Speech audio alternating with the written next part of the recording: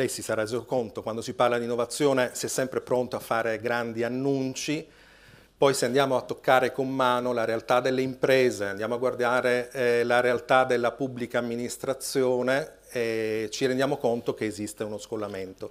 Ecco, eh, secondo lei perché? Che bella domanda. Innanzitutto volevo fare gli auguri dei 40 anni a Data Manager, Grazie.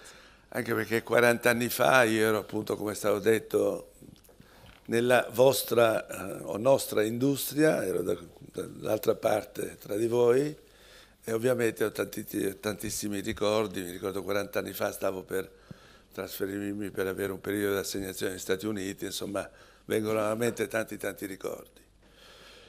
Lei mi fa una domanda, se vuole facile o complessa, perché? Perché potrei dire semplicemente che è mancata eh, la leadership su questo argomento dell'innovazione tecnologica. Ma indubbiamente, analizzando un po' la situazione, perché l'Italia è indietro? Cioè, mi rifaccio per esempio all'ultimo indice pubblicato dalla Commissione europea che non, so, non è oro colato, però ci dà un'indicazione di noi in confronto agli altri.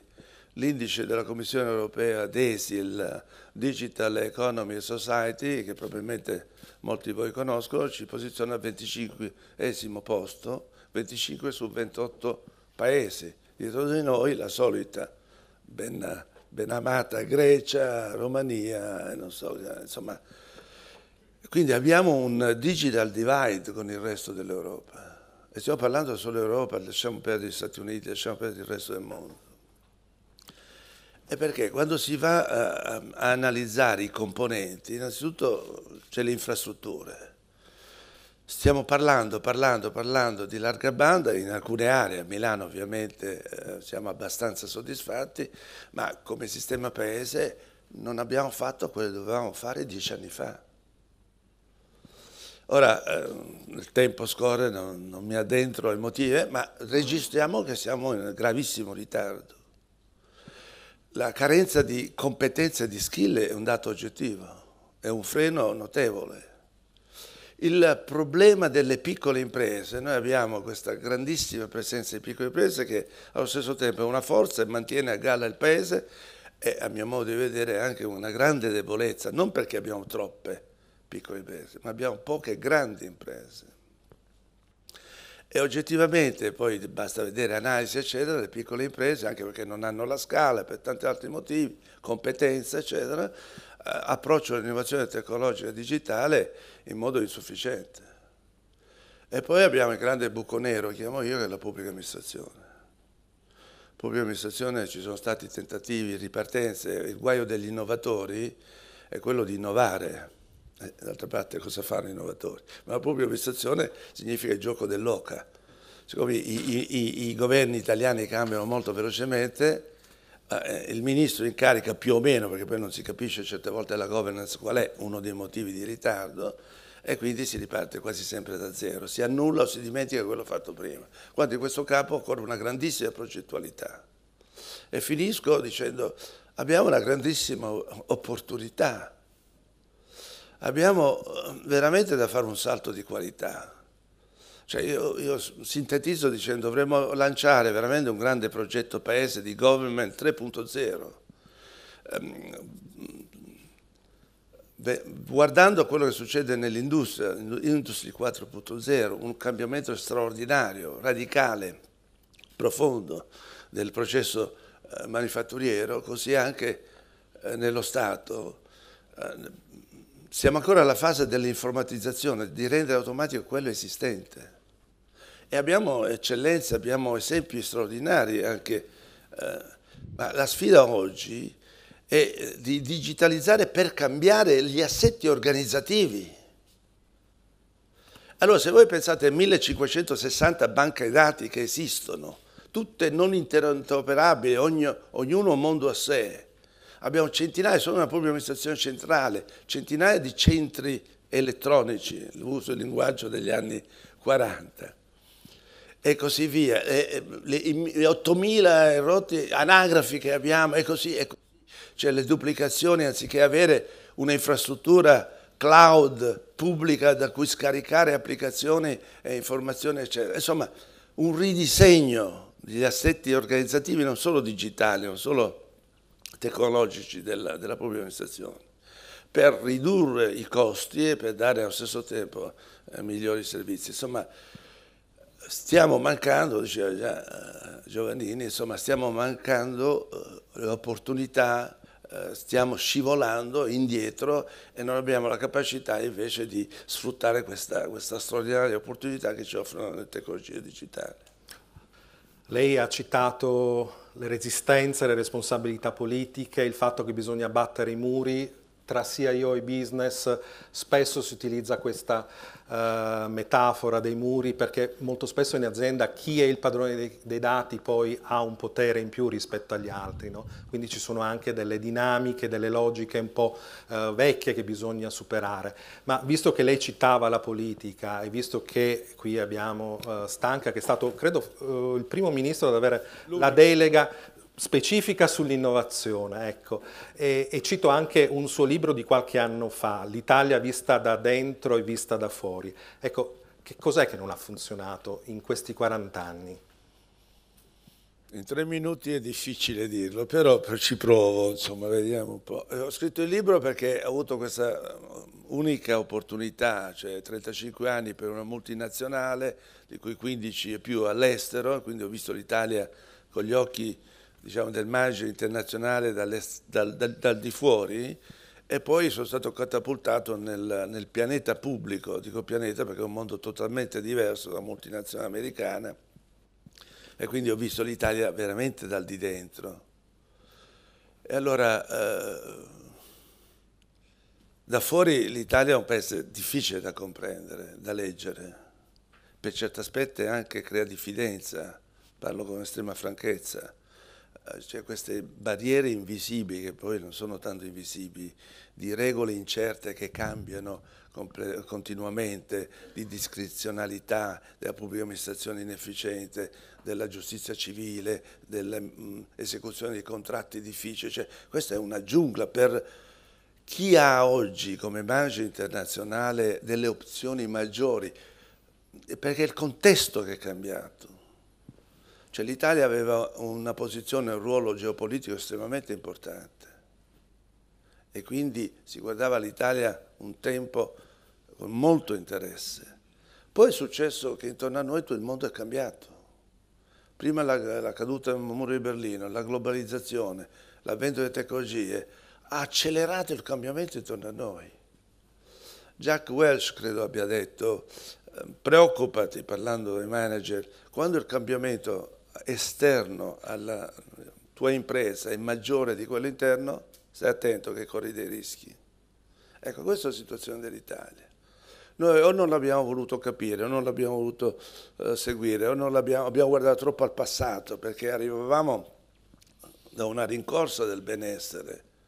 A metà degli anni 90 abbiamo cominciato uh, la decrescita che tutti i paesi poi hanno avuto, ma noi dagli anni 90, inizio anni 90, siamo cresciuti meno della metà della media europea, meno della metà della media europea, no, praticamente tutto l'arco dei 20-25 anni. Ma quando lei aveva la responsabilità di decidere, eh. che cos'è che ha frenato? Eh, eh, dall'interno, dall'interno dico subito, la politica è debolissima.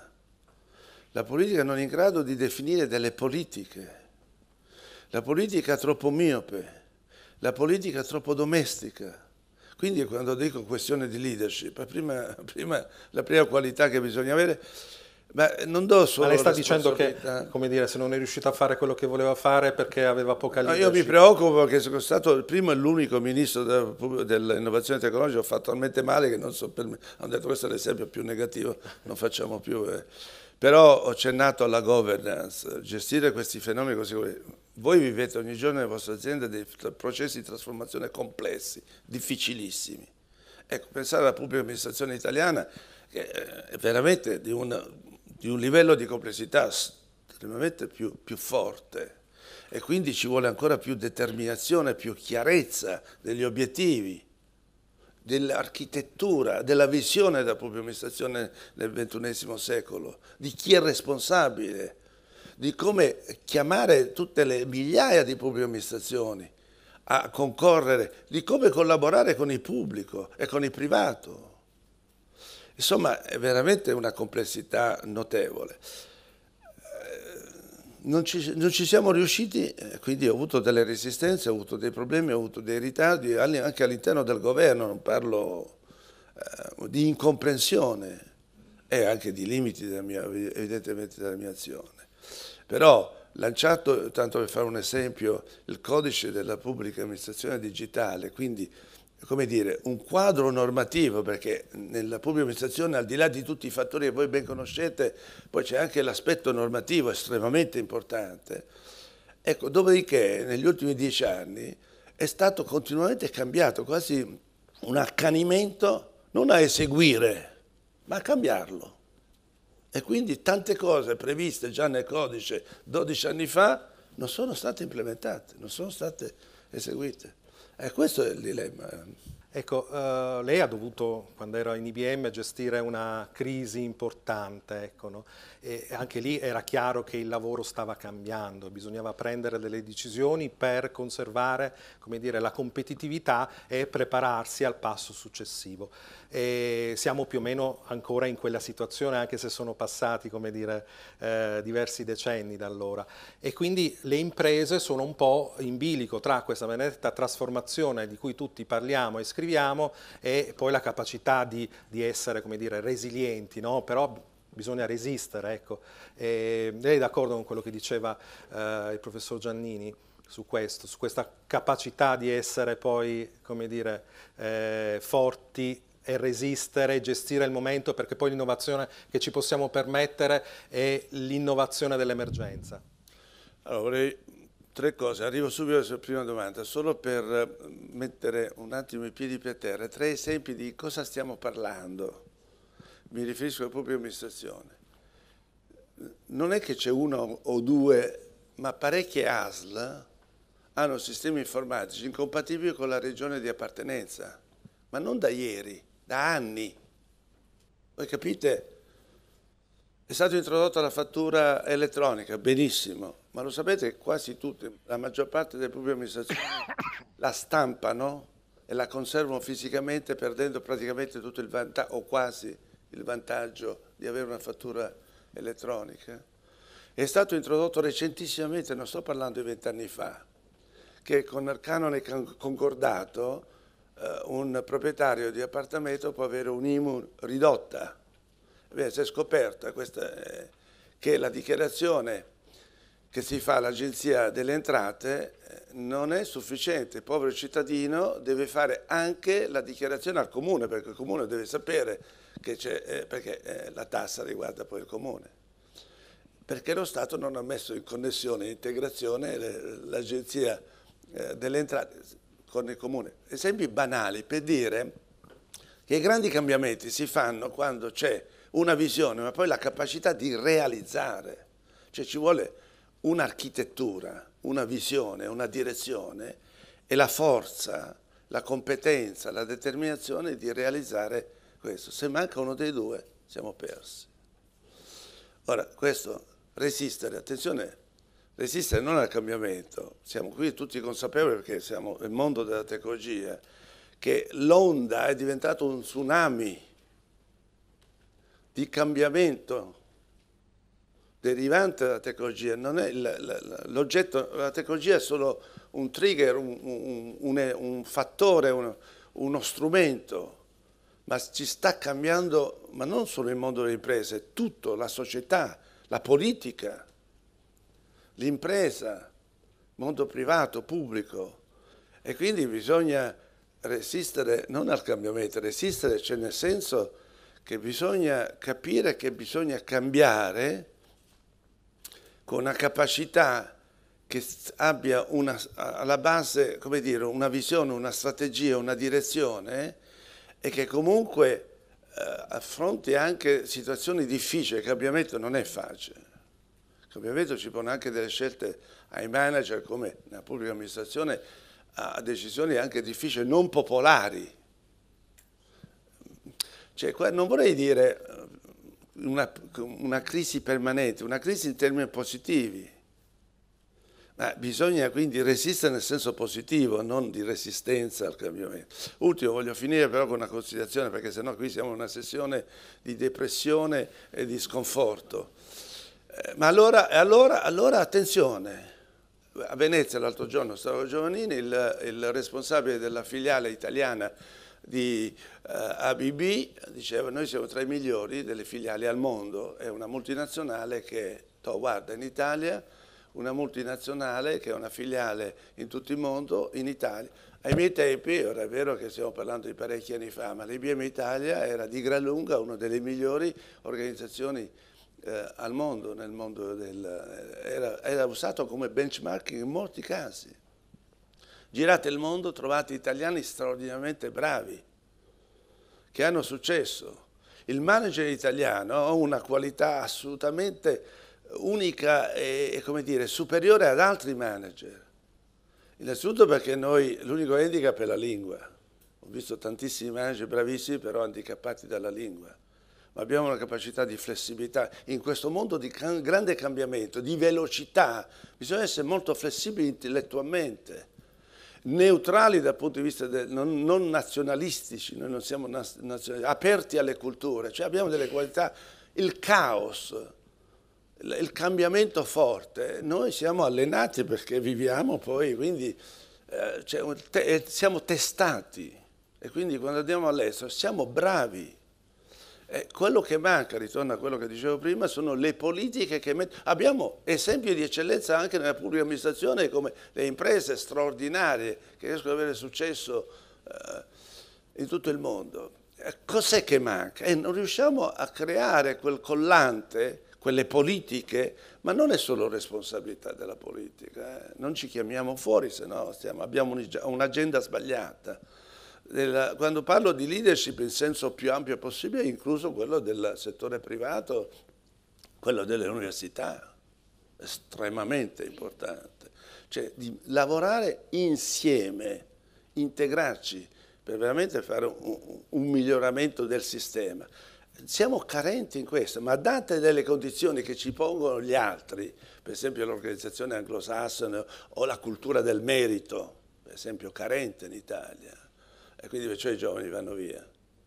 Ecco, se ci danno le condizioni e le condizioni ce le dà chi ha la responsabilità, quindi i capi, i leaders, noi italiani siamo bravi, ma non lo dico solo ora per tirarci su, perché basta girare il mondo, basta parlare con qualcuno.